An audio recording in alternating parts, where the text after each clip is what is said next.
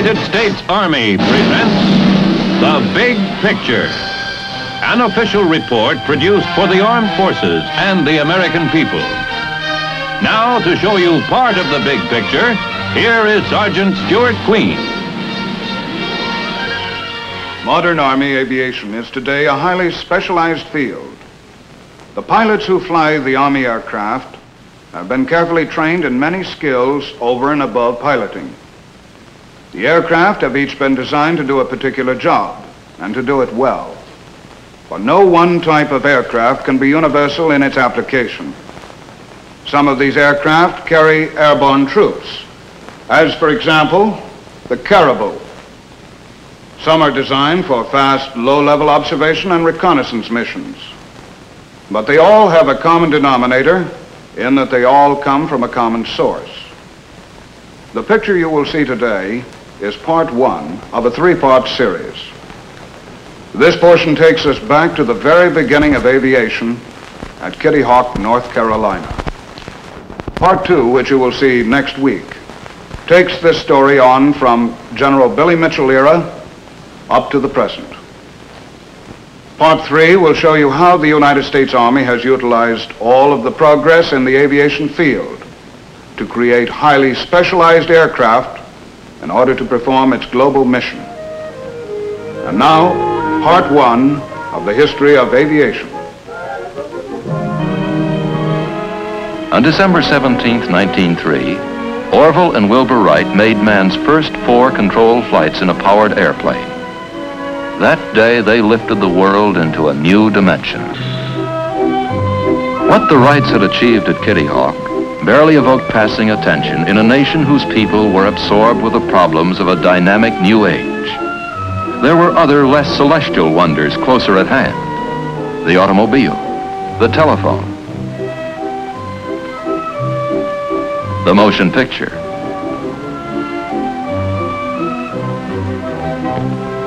But at number 7 Hawthorne Street, December 17, 1903 was a momentous day. The young girl who was then the Wright's housekeeper, Carrie Grumbach, remembers. I remember the telegram when it come, that they had flown. The telegram from Kitty Hawk had a special significance for the mechanic who worked in the Wright's bicycle shop, Charlie Taylor. I made, made all the different parts in the, in the motor. I even made the crankshaft. So I made it out of a solid block of steel, uh, about 32 inches long, 6 inches wide, and inch and 5 eighths thick. The motor itself, from the time I started till I had it ready for test, was six weeks. 50 years ago, I can remember as though it was yesterday almost. There was not a complete indifference to the Wright's discovery. A small group of Americans were laboring to further the art. And in Europe, where the airplane's military potential was quickly realized, a fresh wave of enthusiasm for aviation followed the Wright success.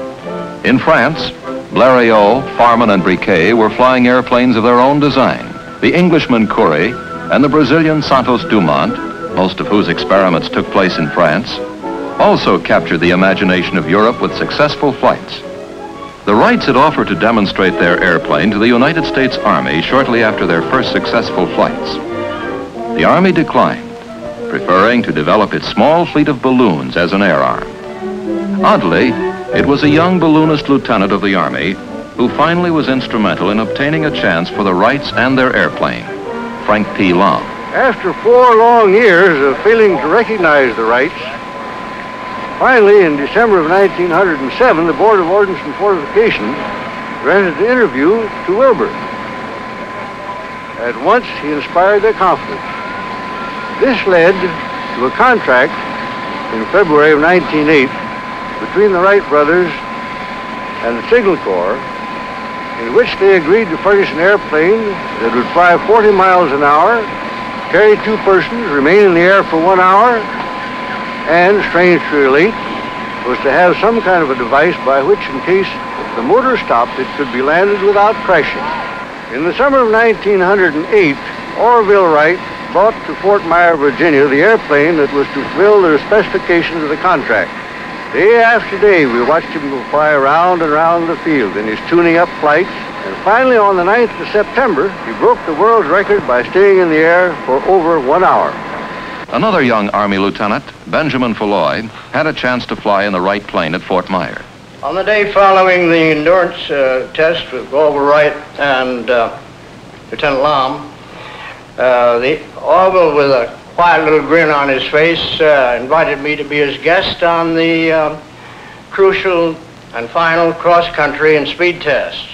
On July 30th, we took off on the uh, final cross-country and speed test. Shortly after we straightened out on the course for Alexandria, Orville, with this same little grin on his face, told me that uh, if he had to land anywhere on the route, and he'd pick out the thickest clump of trees he could find and land on top of them.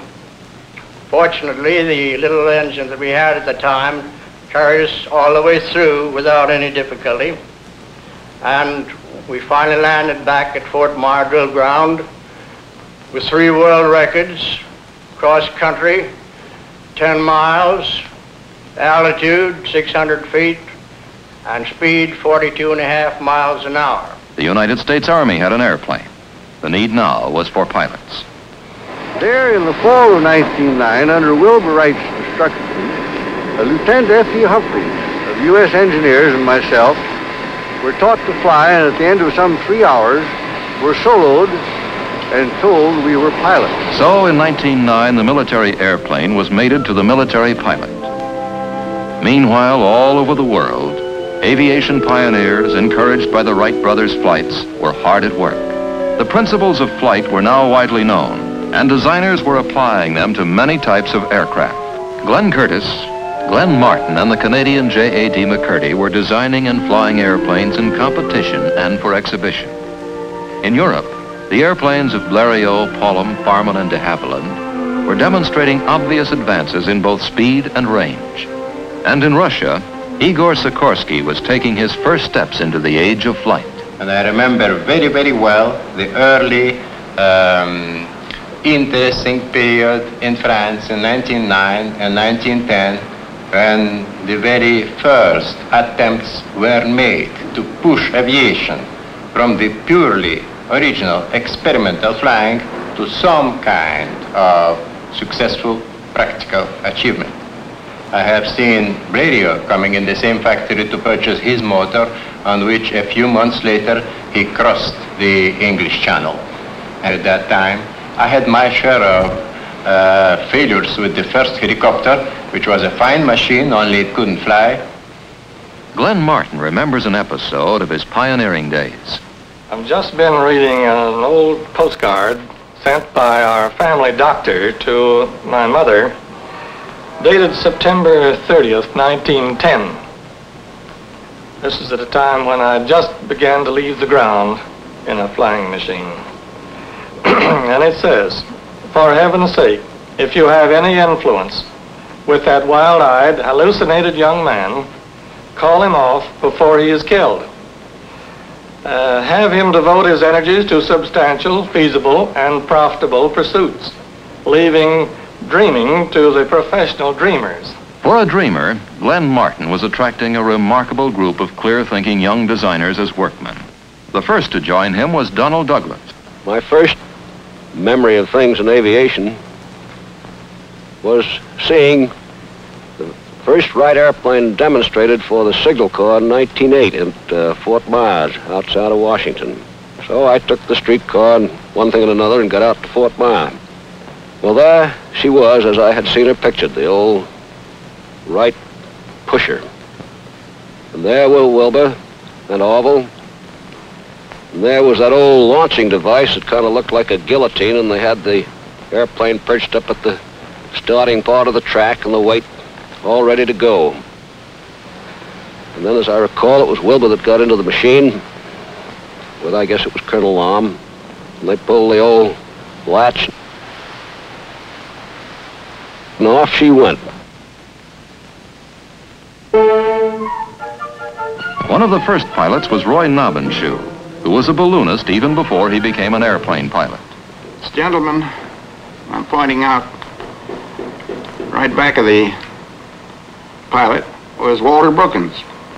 Walter was a, a great pilot. His uh, judgment was uncanny, but he was very temperamental. As a matter of fact, he, uh, Arch Hoxsey, and Ralph Johnstone was the three best pilots that the Wright Company had, and each one tried to outdo the other. The ambitions of some designers went far beyond their skills. As Igor Sikorsky has said, In the history of aviation, there have been many contraptions which, to the good fortune of their inventors, failed to fly.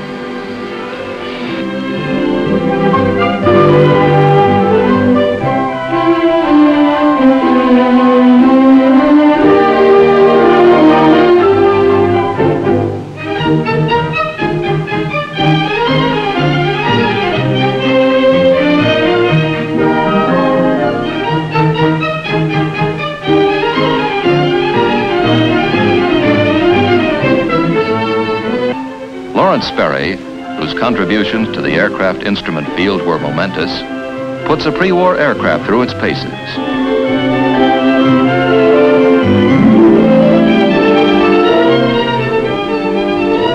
All this ferment, however often it seemed to lack direction, was contributing in one way or another to the growth of aviation.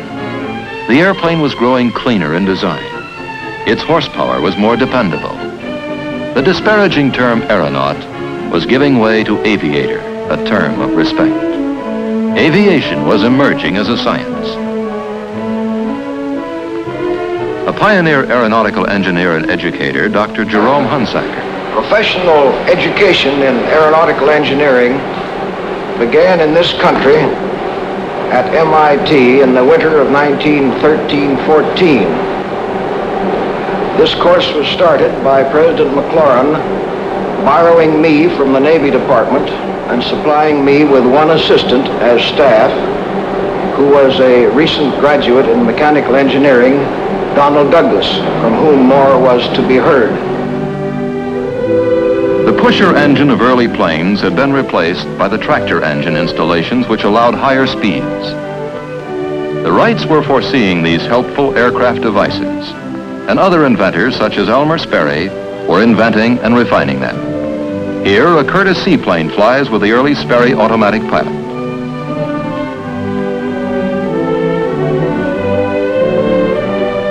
Almost without exception in the first decade of the airplane, the designers were pilots.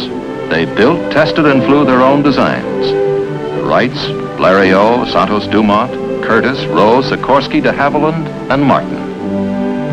At Glenn Martin's, a band of engineers and craftsmen had gathered together whose names and time would be synonymous with aircraft designs of world rank. Donald Douglas, James H. Dutch Kindelberger, Lawrence Larry Bell, Allan Lockheed, John Northrop. The United States was the cradle of flight. Inventors of a high order had appeared. Our pilots were unmatched. First-rate designers emerged. Brilliant men specialized in the components of the airplane. But as a pioneer who specialized in aircraft horsepower, Frederick B. Rentschler summarizes. Prior to World War I, our most important contribution to aviation was the flight of the Wright brothers. From December 1909 to March 1911, 13 months, the entire United States Air Force consisted of one officer, myself, uh, one civilian mechanic, eight enlisted men, one airplane. The government at that time wasn't very keen about turning money loose for flying. I had uh, the great appropriation of $150 allotted to me to take care of the airplane for the entire year 1910. Two air-minded young lieutenants shortly joined General Foulois, the one-man Air Force. They were Hap Arnold and T. DeWitt Milling. Looking back 42 years ago to March 1911, the month, and uh, the month in which General Arnold and myself were ordered to Dayton to learn to fly with the Wright brothers, and to think of the plane that we used at that time and see the advance that has been made since, it seems incomprehensible that one man in his own lifetime could live through such progress. After our very brief period of instruction, of about a week, two to three hours in order to learn to fly, we were sent to College Park, Maryland. We immediately started in to try to find some method by which we could develop from the standpoint of taking photographs, using the machine gun, dropping bombs. The air arm of the United States Navy began under equally apathetic circumstances. Naval Aviator Number 3 was Admiral John H. Towers. In the autumn of 1911, when I was quite a young naval officer serving aboard one of our battleships, I got the idea that I wanted to learn to fly, that naval aviation would amount to something for naval purposes. So I put in a request to the Navy Department. And they came back and quite frankly said that they didn't believe aviation would ever amount to anything. But if it turned out to be otherwise, uh, they would consider my request. During that winter, uh, Congress uh, appropriated money for the Navy to buy three airplanes. So they were in it whether or not they wanted to be. And uh, then they decided to select three officers to be taught to fly as part of the contract with the manufacturers of the airplanes. I was fortunate enough to be one of those three officers. The other two were Ellyson and Rodgers. I also became a very close friend of Glenn Curtiss and uh, was associated with him throughout his whole life. The man had an enormous amount of vision. He had already conducted, in cooperation with the Navy, tests of uh, landing an airplane on a platform, on a cruiser, and also of taking off. But he had in his mind then the idea which later developed into the powerful carriers that we have today. The airplane now had official recognition, both from the Army and the Navy, but it was a cautious acceptance. The time-forged armament still held sway. When the fledgling Army flyers experimented with a primitive bomb sight and a Lewis machine gun, installed in aircraft at College Park, Maryland, they landed and foresaw whole battles that someday might be fought in the air. The War Department promptly pierced that bubble. An official spokesman pointed out with finality that the Army had airplanes for just one purpose, reconnaissance.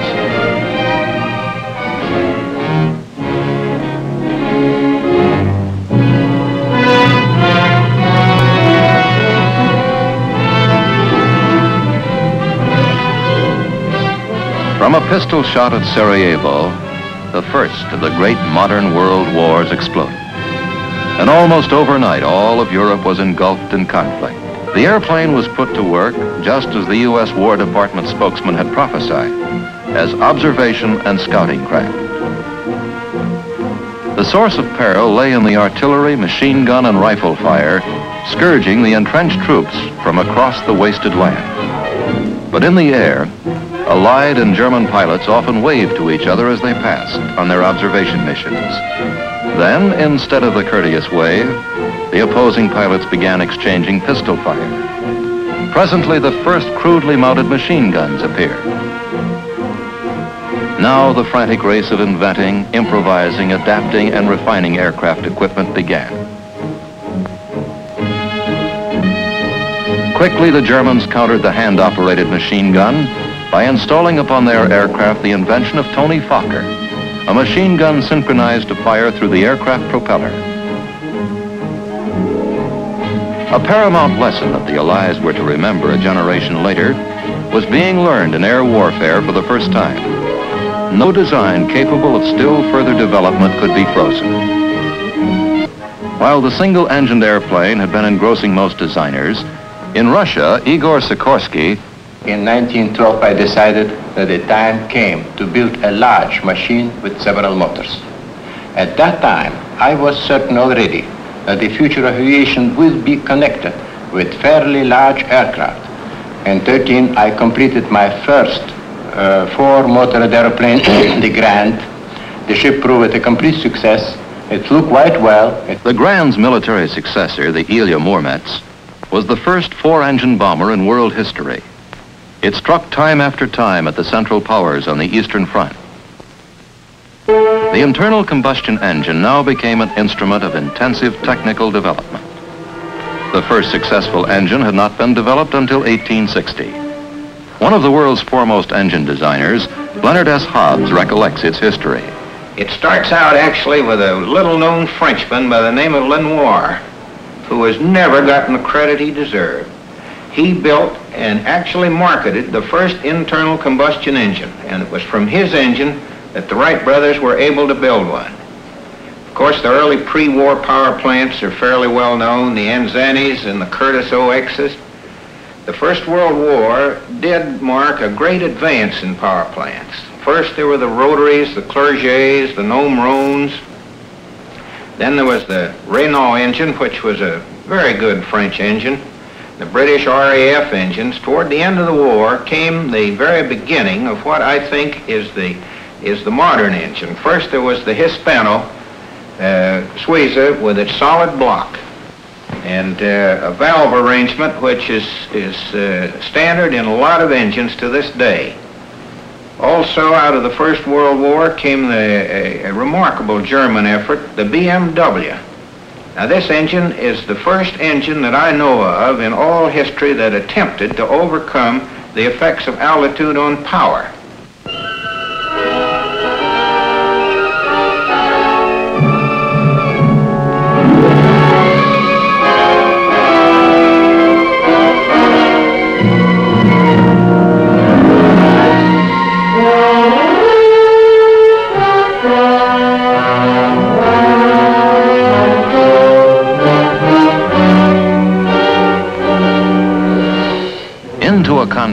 Which European antagonists had been tempered by three years of savage battle, whose equipment had been perfected by the necessity of survival without regard to cost, the United States now plunged. It was the world's 14th ranking air power, with only 28 airplanes, 65 pilots, supplemented by 50 flying students. Its Navy combat air arm was even smaller. Its industry lacked integration. The nation that had allotted Benny Foulois $150 in 1910 for maintenance of that year's Air Force promptly voted $600 million to fulfill a plea by the Allies to have 5,000 airplanes and 4,500 pilots on the Western Front by the spring of 1918. Our national mistake was the assumption that an instrument as dynamic as the airplane could be designed, tested, and developed overnight. Thousands of rookie pilots training in the United States and in England and France had an inspiring example of American air combat performance through the brilliant exploits of the Lafayette Escadrille, a team of American volunteers who had joined the Allied cause in 1916. But American performance had its hours of frustration. One of the first young pilots to see action in France with the 1st Aero Squadron was Oliver P. Echols. We'd been equipped with a new type of French airplane with a new and very much improved engines. These airplanes were assigned to us. The squadron had the strength of 18 airplanes, and we were assigned the mission of supporting uh, one of the American divisions one afternoon in the attack. Our airplanes took off 18 strong. During the afternoon, all of the airplanes force landed from engine failure. Fortunately, none of them behind the enemy line. The pilots of World War I made the term dogfight synonymous with their work. America's top ace, Captain Eddie Rickenbacker of the famed 94th Hat-in-Ring Squadron, reflects on the different approaches to combat of the pilots of World War I and the pilots of today. That individualism uh, was possible because the planes were much slower. You'd stay in maneuver. Whereas today, it's impossible because of the tremendous speed, the difference of 100 mile an hour and six, seven, and six or 700 miles an hour. We had 150 horsepower. Today, if they haven't got five or 6,000 horsepower, it's no good. We had two little pop guns, 30 caliber, that would shoot sometimes 450 rounds a minute. Today, they've got six and eight 50 caliber guns that'll shoot a thousand rounds a minute. A naval officer whose career has bridged two wars in aeronautics, Admiral DeWitt C. Ramsey. From the outset, the Navy's problem has been to bring aircraft into the mobile operating forces of the fleet. The real beginning of naval aviation, let us say, took place in England, where during World War I, the latter part of it, the British converted two ships, the Furious and the Argus, and built into them the features which were desirable for aircraft launching and recovery. As a result, the Navy embarked on a initial program of converting the old collier Jupiter into our first flat top, the Langley. In 1918, as the war began to move toward its climax, American aircraft equipment still had not entered combat. An intensive effort was being made to perfect the Liberty engine. Before the Liberty or any other aerial product of the United States designing boards could be put in action, the final critical offensive of World War I had begun. Millions of men pulled out of trenches to attack or retreat. Above them, to be sure, planes flew in bombing and strafing missions. Individual pilots whose names became legendary met in dogfights. Germany's von Richthofen, France's Fonck, Canada's Bishop, Germany's Goering, and such American aces as Rickenbacker, Luke, Lufbery, Vaughn, Springs, Kindley, Landis, Schwab, Hunter. After the war was over, a great many of American boys had been taught to fly, but they didn't get to the front. Of course, after the war was over, they had nothing to do, and there were a great many surplus airplanes. And that is the period when you hear so much about of the days of barnstorming. After the war, with all these surplus airplanes, a lot of the fellows who had been taught to fly then decided to go out and carry passengers and do stunts and regular exhibition flying, principally at county fairs and state fairs and things of that sort. Both the Army and Navy Air Arms shortly were reduced once again to organizations hardly larger than the membership of a civic club. Yet in both services, the men who remained were uniquely zealous advocates of their calling.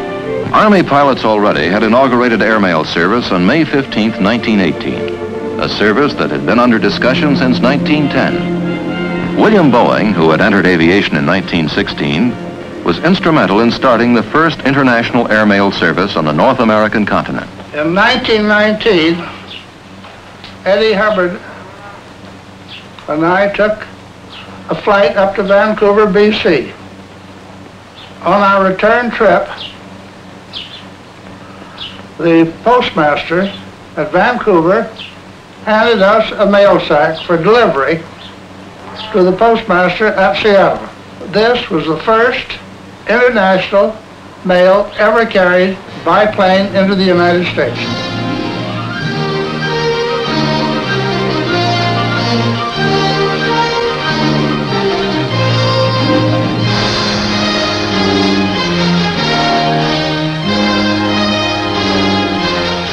The Big Picture is an official report for the armed forces and the American people.